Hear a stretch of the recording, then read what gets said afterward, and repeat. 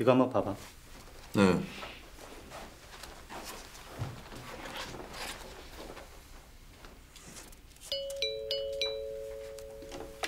보이세요? 장태입니다.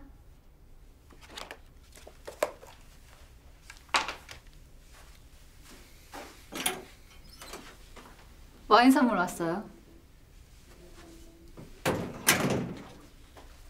안녕하세요. 네, 안녕하세요.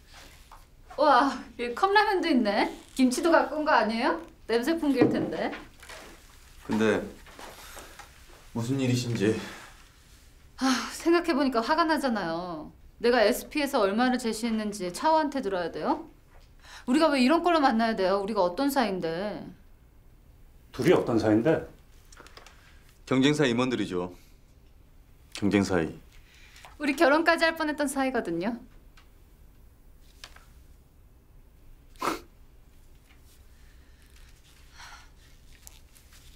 가르쳐줘요. 거기 오빠 얼마 냈어요? 곤란한 질문을 그렇게 대놓고 하시는군요. 얘기해봐요. 별것도 아닌 걸 비밀이라고. 보이시다시피 저희 지금 할 일이 많거든요. 밤새워 고민해봤자 SP는 수주 따기 어려워요. 오빠 얼마 냈어요? 가격으로만 결정될 일은 아니죠. 맞아요. 첫 배 수주하기가 왜 어려울까요? 경험이 없으면 그만큼 믿기 어렵기 때문이죠. 첫 배는 제대로 뜨지 않는다는 속설이 그냥 생긴 게 아니거든요. 잘 너무 무시하는 것 같네요. 그럼 어렵다는 거 잘 알고 있으니까 망할 때까지 계속 손만 놓고 있으라는 말인가요? 그럴 리가요. 다만 양보할 때가 됐을 때 그렇게 하면 서로가 편해지는 거 아니겠어요? 편한 거 찾으려고 홍콩 온 거 아닙니다. 만약 이번 SP 조선에서 수주에 실패하면 SP 조선은 어떻게 되나요? 지금 우리를 교란시키라는 임무를 띄고 오신 겁니까? 서로 알자는 거예요, 내 말은. 우린 어쩌면 월드 해운에 똑같이 농락당하는 입장일 수도 있어요. 안 가르쳐줘도 알고 있어요.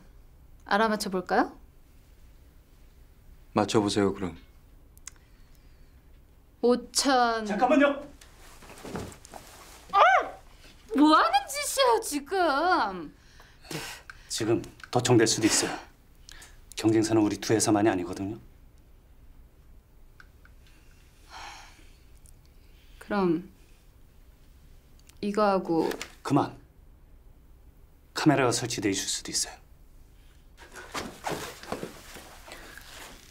여기서는 카메라가 있어도 안전하겠네요.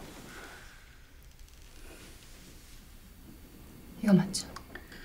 아니에요. 아니라고요? 아, 차오 이 사람 못 믿을 사람이네. 아, 그쪽에서는 이렇게 올린 거 아니에요? 어차피 해보나 마나한 게임인데 와인이나 마시죠.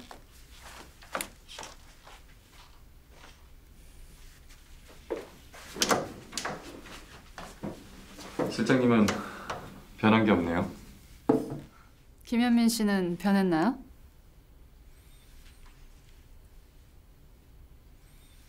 우리 참 많은 일이 있었죠.